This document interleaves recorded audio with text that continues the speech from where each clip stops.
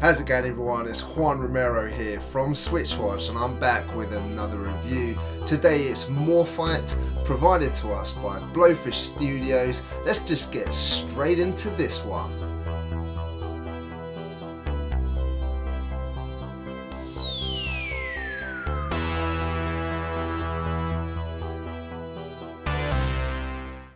You take control of Myrah Kale, whose life is about to change. A simple mission turns into an epic interstellar journey of exploration. The story really is quite good here, and it keeps you wanting to explore and find out more.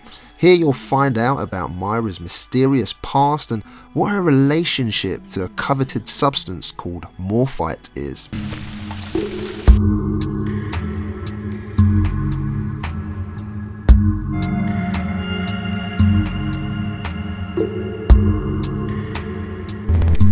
In terms of the audio, I think for an indie title the audio is rather good, but there are some issues. The fact that the protagonist is voice acted and so are a couple of other characters you meet along the way is always a win, and especially when it's done to a decent standard. I especially liked Kit Kat who has some really funny lines and is one of those characters you can't help but laugh with. Who knew a floating robotic cat could be at times so funny and often breaks the ice in situations where danger is present. The music here sets the tone really well in outer space. This is a slower paced first person shooter than most will be used to and the devs have done a really good job with the music choices from the music in your ship which gives you a feeling of having to get a move on to the more relaxed mysterious melodies when you reach certain planets. The issue I mentioned is to do with the music being different volumes throughout.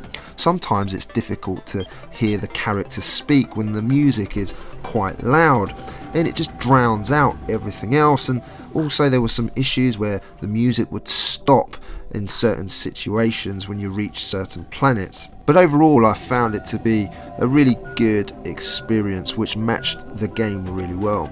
In terms of visuals and performance, it's always going to be a split opinion here, but personally, I very much enjoyed the visuals, even though they are of a low polygon affair, which gives it that retro feel. Of course, this game's visuals would be compared to games like No Man's Sky, but this is a very cool looking game in its own right. The planets look varied, and that's the most important thing, and the scenery does look really beautiful. Exploring certain planets at night and seeing all the colourful differing wildlife with neon on them looked really fantastic. Each place showcasing a wild and different variation of wildlife and plant life. The architecture is drawn to a really good standard and everything looks mysterious like you want to go in and explore. The game did give me a few issues with frame rates though which was a disappointment. These problems were more apparent in docked mode when having multiple moving objects on screen or turning really quickly in certain situations. The frame rates were a little bit too erratic and inconsistent at times for my liking and when this is a first person shooter FPS I often find that any frame rate problems in these types of games become really magnified and hamper the experience slightly. Now this game has been hyped for a little while now, drawing comparisons to the games I mentioned above.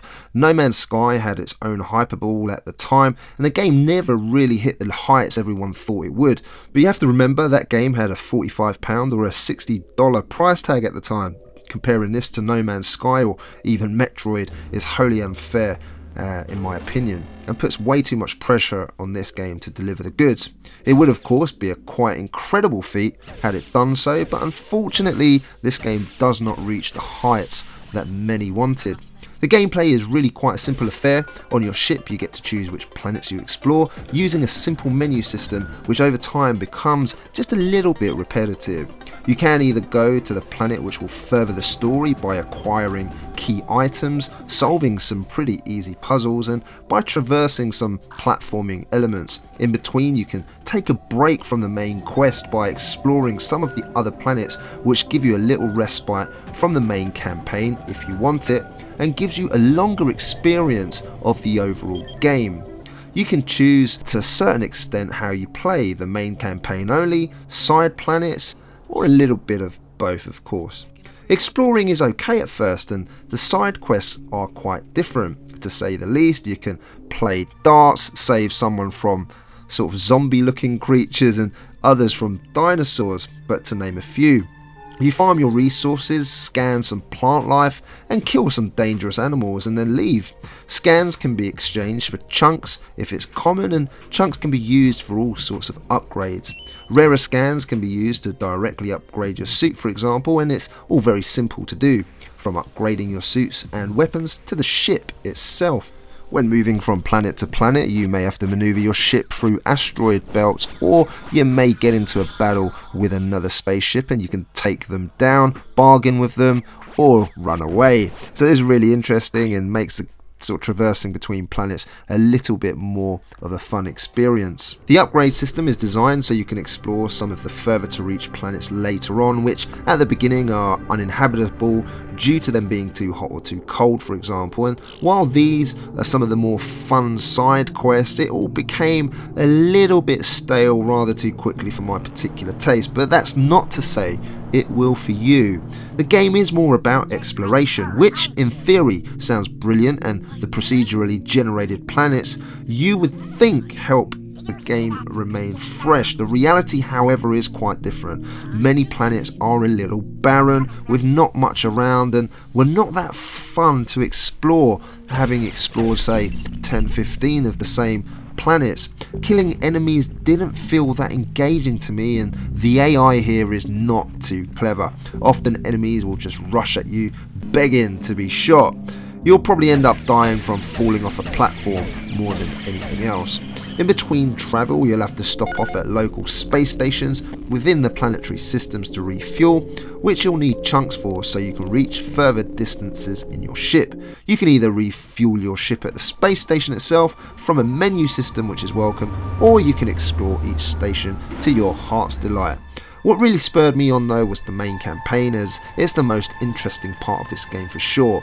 Each planet you reach in the main campaign isn't randomised and as you progress you unlock items to help you get further and it's rather interesting finding out more about the story. The controls are tight both in handheld and in docked mode and if the controls are a little bit too sensitive for you it can be changed in the options. There are some platforming elements which are okay but uh, I never found mixing platform with an FPS go together very well. You can use the shoulder buttons to auto aim if you like which makes things a little bit easier. The game sits in and around the price many of these mid-range tier indie games are priced at $14.99 or £13.49 in the UK. You get a decent story here and many planets to explore and you're looking at around 8 hours for the main campaign. However, once you manage to upgrade your character and ship, there's very little to come back to. There's no online modes or multiplayer here, not that they're needed to be honest. This is strictly a solo experience which will be fine for most. Personally, I very much like a good solo experience as it's a nice departure from all the multiplayer games around now. Sometimes we have to remember that games like this are not AAA titles with AAA prices, yet we expect so much more these days. You cannot fault the developer's ambition here, that is for sure. The game is beautiful with a good atmosphere, it has mysterious quality about it, but here it's not quite enough and more experienced players, I believe, will expect more from this adventure and more of a challenge. Ultimately, it's all about your expectations though. Unfortunately, the game falls short from both a technical standpoint on the Switch to the gameplay itself. For some, exploring the planets and discovering new things whilst progressing the campaign will be enough, and the simplicity of it may be what you're looking for. Anyone else looking for something more complex though and more engaging, best looking elsewhere. For me, this is a solid, could have been better, 6.5 out of 10. Now guys, if you enjoyed this review as always, all I ask is that you hit that thumbs up for me if you're a new watcher here, then consider subscribing. We've got plenty of reviews like this one on our channel, and we put everything we can into them. Last but not least, leave me a comment down below. Let me know your thoughts on this game or any other Nintendo Switch game. My name is Juan Romero, bringing you the Morphite review, and I'll see you on the next one.